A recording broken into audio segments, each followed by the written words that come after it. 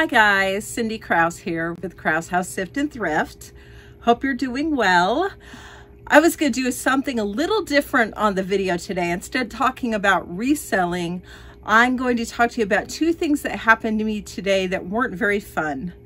But I got a resolution of both of them, so I thought I would share them with you in case this will help you, in case you run into any of these situations. The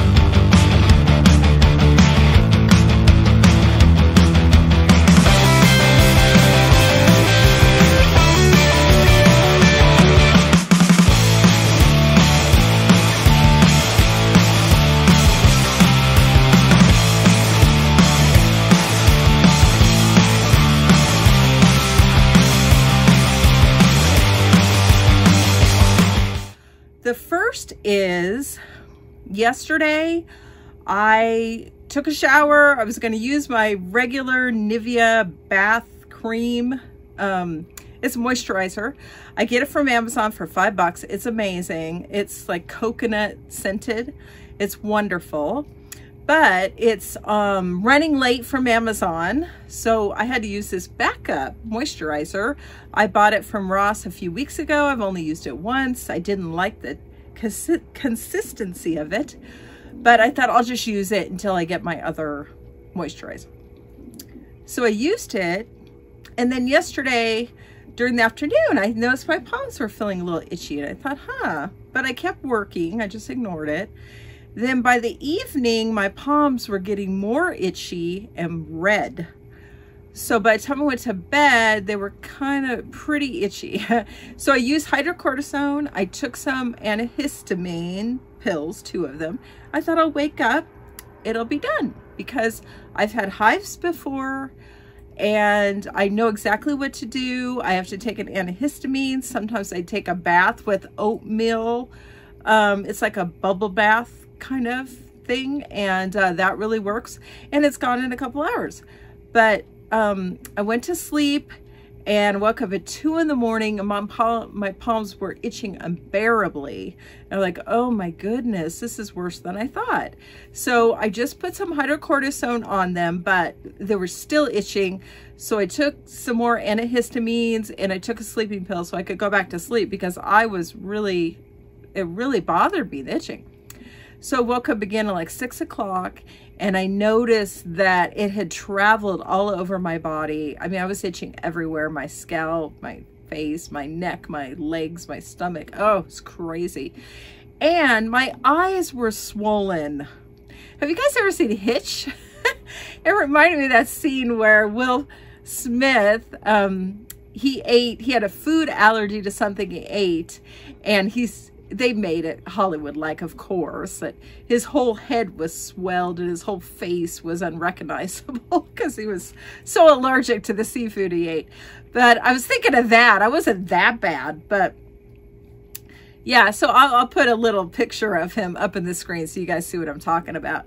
But my eyes were uh, swollen so I couldn't open them all the way and it was bothering me and they were itchy. My eyelids were itchy and I'm like, oh my goodness, this is not like my regular hives. Usually I get like a heat rash and it's not itchy, but it's not fun either. Um, but that, like I said, I've gotten a couple times because I'm allergic to naproxen. I didn't know that the first time. So when I took it again, I'm like, oh yes, I remember this. So I'm allergic to naproxen. So uh, if that happens, you guys, if you break out with naproxen, just take an, a couple antihistamines. You could always take an oatmeal bath. Um, you want to use cold compresses and kind of just lay down and just take it easy and it'll pass pretty quickly uh, within a couple hours like I said the first time it happened to me I freaked but when it happened the second time I knew exactly what it was and I knew it wasn't going to last but this was completely different this was really itchy and it wasn't um it didn't cover my whole body like the other hives. It was just a blotchy just little blotchy spots all over me. So i'm like okay this is something totally different. But i figured it was the lotion that was the culprit. So John and I, um, I told John when I woke, okay, to continue, I told John when I woke up and he's like, oh no, we got to get you to a doctor. And I was thinking, I'll just go get me some Benadryl, but he was right. He said, you know what, uh, getting hives don't necessarily mean something that you've done to your body, but it could be an internal thing that's, that's manifesting itself externally. So I said, okay, you're right. I should go to the doctor. So we went, had to wait a long time, of course, because we didn't have an appointment. and then uh, finally got in there, met with the lady. She was like a PA. And she's like, have you, uh, we kind of narrowed it down that the lotion was probably the culprit because she said, you always want to look for the new thing that could cause this. So fortunately I did I suspected the lotion already, so that kind of confirmed it. And then she said, did you shower? And I said, no, I did yesterday. And she goes, you might want to go home and shower and get that stuff off you. And I thought, oh, great idea. Didn't even occur to me. And she was great and helpful. And she gave me a prescription for like a prescription dose of like a Benadryl. So we went to the pharmacy, we got it and it's one of these things, tapered doses, where you take two at breakfast, one after lunch, one before dinner, one before bedtime. And it's like a pack of pills. So I came home, I took the two I was supposed to have after breakfast because the pharmacist said that was fine. And uh, within 15, 20 minutes, I started feeling unbelievably better. You know, I was, before that, I was itching all over the place. I mean, I was fine in the clinic waiting, but I was uncomfortable. So once that went into effect, oh my gosh, I just feel so much better, you guys. I I still have a little bit on me. Um, you can see kind of a trail of the hives here, but they're much more reduced than they were and they're lighter. This is what Sparta did to me um, almost two weeks ago and it's still there. It was a deep cut. I was holding him, trying to give him medicine because he had a uh, bladder infection and he did not like John was trying to get in him get it in his mouth and I was holding him and he didn't like that so he scratched me. It was bleeding like crazy. But I don't blame him. He's a cat. He was just scared. So it's okay. It feels better. But you know the funny thing is that was itchy for a long time and I, I had to put a lot of cort I had cortisone on it. So it's just funny how scratches can be itchy and hives obviously are itchy. Some of them not all of them so I feel tremendously better. I'm going to continue with the dosages. I know probably be all done with this by tomorrow or the next day.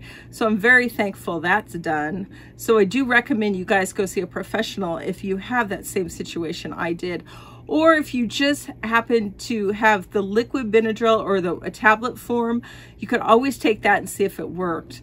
But what the, I had did not kick it out. The antihistamine was not working for me. So that's why I I went to a doctor.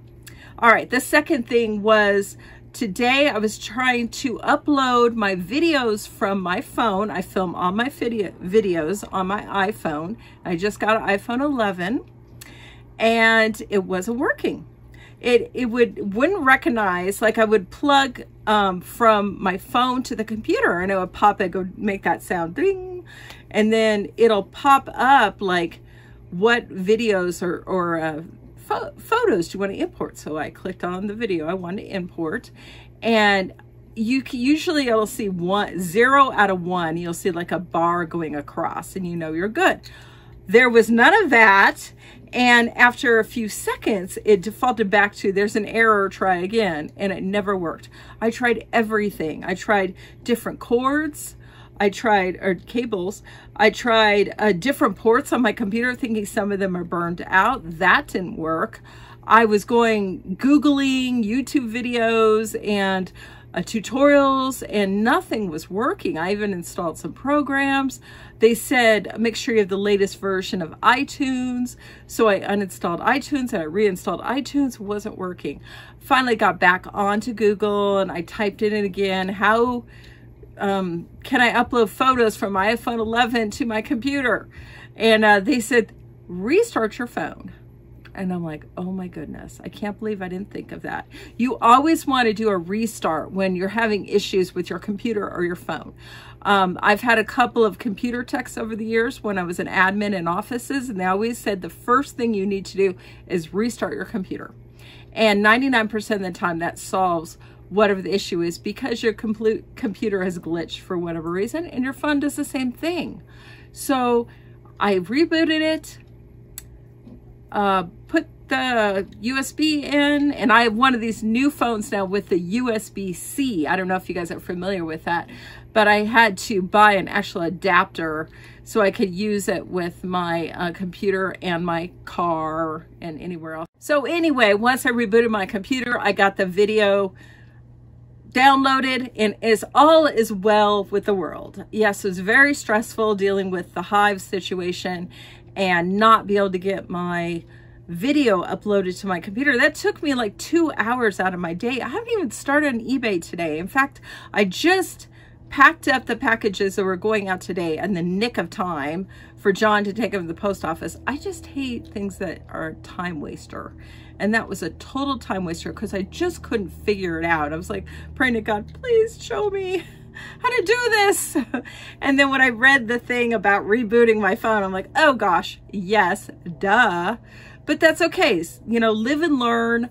As long as we learn from these things that we go through, that's all that matters. So I'm good now. I'm having a great rest of the day. I hope you guys are too. I hope this helps you. And I will see you next time. Bye.